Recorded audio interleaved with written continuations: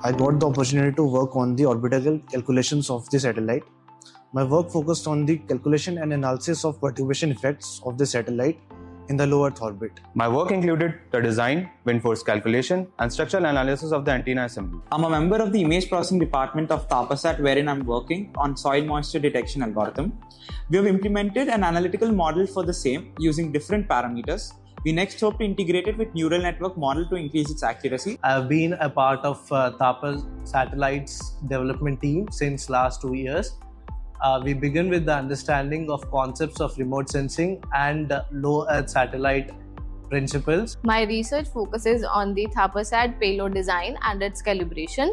So throughout this time, I have uh, gained knowledge about the Earth, the physics involved in our Earth system, remote sensing techniques, and the interaction of the light with the uh, greenhouse gases. Working on this project gave me uh, exposure to the advancement of technology in the space sector, which is very valuable for a student. Being part of the ThaparSat project was an amazing experience.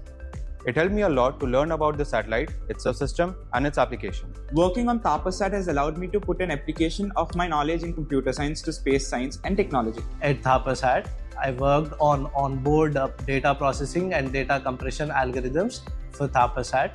The understanding of uh, ThaparSat's architecture and algorithms could be generalized to a larger family of satellite architectures to increase the onboard capabilities of data processing. The inspection and testing of the payload has been uh, uh, my critical work and the contribution to the satellite.